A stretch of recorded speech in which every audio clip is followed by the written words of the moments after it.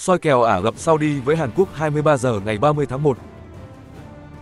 Không có quá nhiều bất ngờ để nói về Ả Rập Saudi khi mà họ đã không gặp quá nhiều khó khăn để giành lấy tấm vé vào vòng 16 đội với tư cách là đội bóng dẫn đầu bảng F. Hai chiến thắng liên tiếp trước Oman hay Kyrgyzstan đã là quá đủ để giúp cho thầy trò huấn luyện viên Mancini có mặt từ sớm tại vòng loại trực tiếp và trận hòa trước Thái Lan chỉ là thủ tục để cho bầy ưng xanh kết thúc vòng bảng. Qua đó, Ả Rập Saudi đã tạo nên một trận đấu vô cùng được mong đợi khi mà họ sẽ phải chạm mặt với Hàn Quốc ngay tại vòng 16 đội.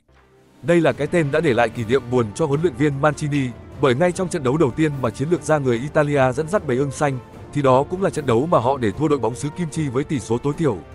Dẫu biết rất nhanh sau đó, Ả Rập Saudi dưới thời của huấn luyện viên Mancini đã tìm ra tiếng nói chung, khi mà tính đến thời điểm này bầy ưng xanh đã trải qua 8 trận đấu liên tiếp bất bại trên mọi mặt trận. Trong đó, họ có đến 5 chiến thắng và chỉ để hòa hai trận. Song, bấy nhiêu đó vẫn là chưa đủ để người hâm mộ của Ả Rập Saudi có thể yên tâm quá nhiều. Đừng quên, mặc dù khoảng cách giữa hai đội trên bảng xếp hạng FIFA chỉ kém nhau hai bậc tại châu Á, nhưng nếu đem ra bảng xếp hạng tổng thì thầy trò huấn luyện viên Mancini kém Hàn Quốc đến 35 bậc.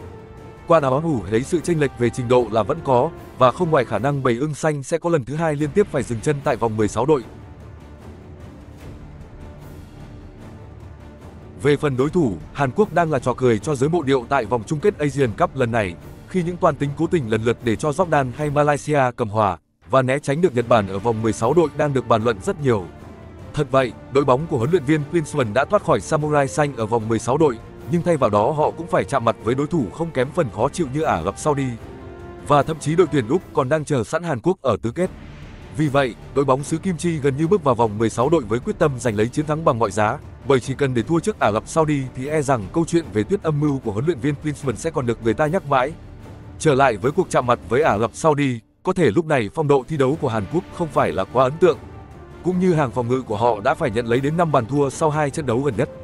Nhưng đừng quên, tất cả đều nằm trong những toan tính của thầy trò huấn luyện viên Klinsmann.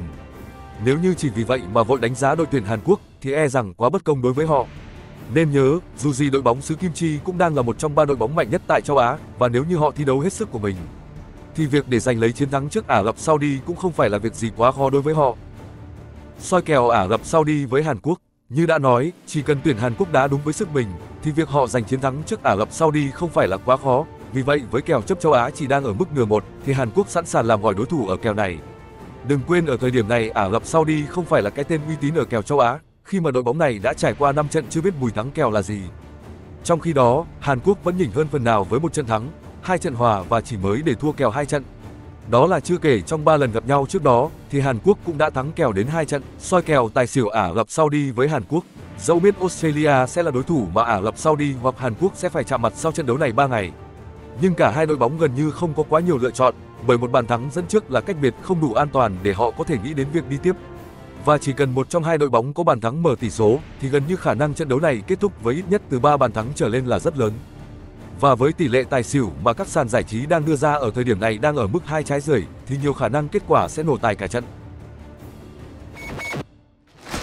868 VIP, sân chơi đỉnh cao, quà trao mỗi ngày. Dự đoán kết quả Ả Rập Saudi với Hàn Quốc, dự đoán tỷ số 1-2, dự đoán tỷ lệ châu Á, Hàn Quốc chấp nửa 1. Dự đoán tỷ lệ tài xỉu, tài hai trái rưỡi cả trận.